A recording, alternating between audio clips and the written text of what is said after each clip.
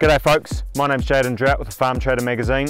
Here we are in the mighty Manawatu where the soil temperature is probably higher than the air temperature down here. But nonetheless, TRC Tractors, they're the Lower North Island distributor of the weaving drill behind me.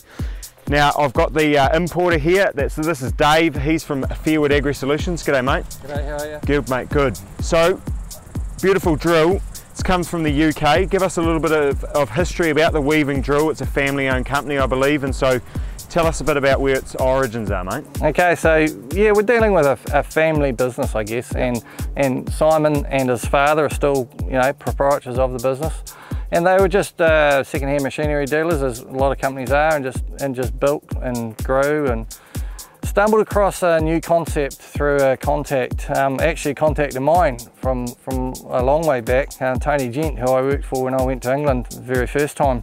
Um, this unique drill, unique disc and this unique angle and pivoting. Yeah.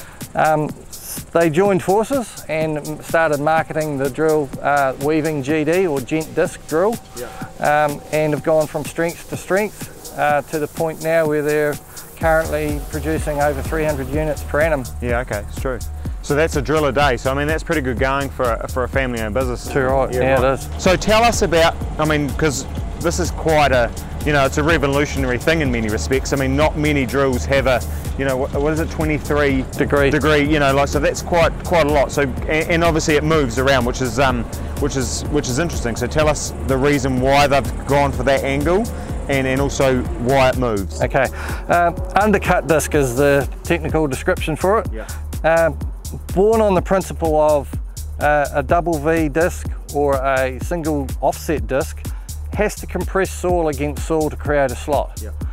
By, by pivoting the disc over and paring the soil vertically, you create a slot, but you're not compressing the soil. Yeah. So what we get is a, a, a nice slicing action and then a paring opening of the soil uh, a slot for the seed. And so we talked before, we actually seen, we could see the, the seed. Uh, there's quite a variation in the width of the seed, but it is 150 mil, that's the spec.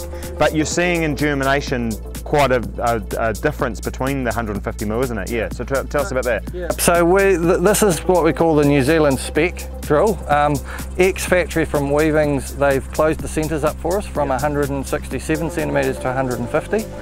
And then we've um, developed further a hydraulic system for the rear wheel to help it contour. So that's, that's our take on it. Yep.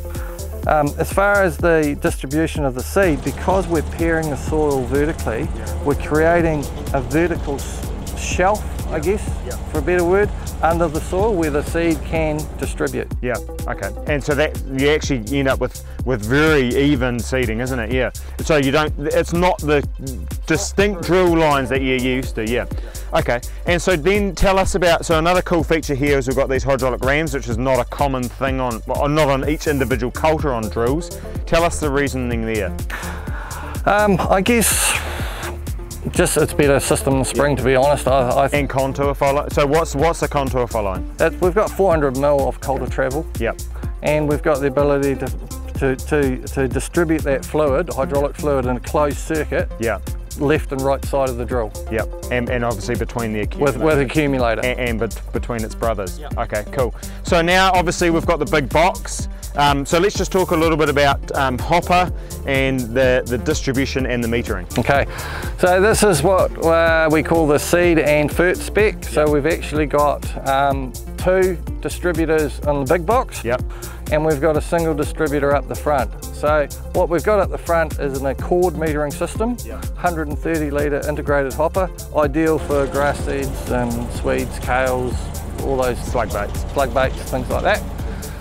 Then we've got uh, the two big boxes with Weaving's own distributor. It's yep. based on the Accord, but it's got 40% more capacity. Okay. So there's a big, big hole for peas and beans and stuff at four or 500 kilos. Big seed, fertiliser. And fertiliser. Perfect. And stainless steel? Stainless steel. But the front one is an Accord metering system though, isn't it? Yeah. Okay, cool.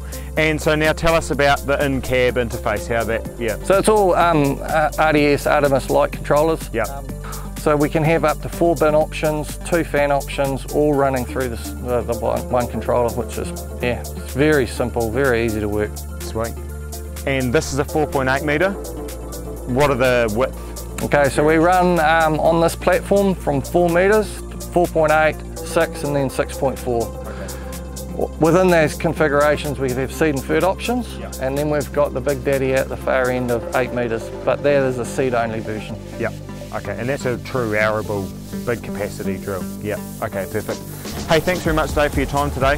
One thing that's impressed me is that uh, this is a 4.8 metre drill and, and, while it might look big and imposing and, and it is an 8.5 tonne drill, like it, the coulter pressure is impressive, We've only got 170 horsepower tractor on the front. So uh, I know this is a flat paddock, but the tractor is just idling. So in terms of the capacity of the drill, in terms of hectares and, and the horsepower that it takes to pull it is, uh, is very minimal. So that, that's got to be a good thing going forward.